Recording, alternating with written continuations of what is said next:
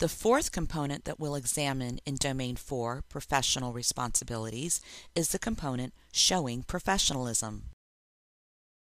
Expert teachers display the highest standards of integrity and ethical conduct. They are intellectually honest and conduct themselves in ways consistent with a comprehensive moral code. What does showing professionalism look like? Showing professionalism is demonstrated in the following ways.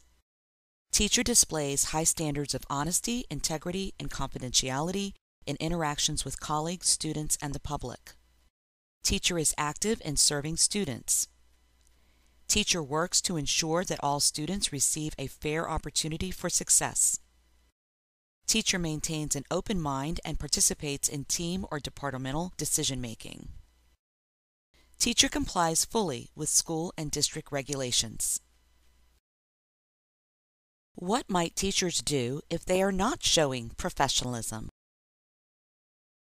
When teachers do not show professionalism, one might observe the teacher is not alert to students' needs.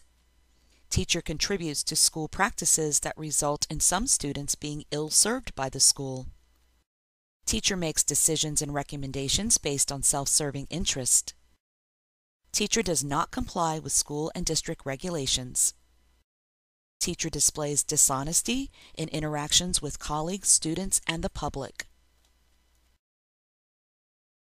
In summary, when teachers show professionalism, they are keenly aware of the needs of their students. They are advocates for students. They are honest and have a strong moral compass. They demonstrate a commitment to professional standards. They comply with school and district regulations. This concludes this presentation, Showing Professionalism.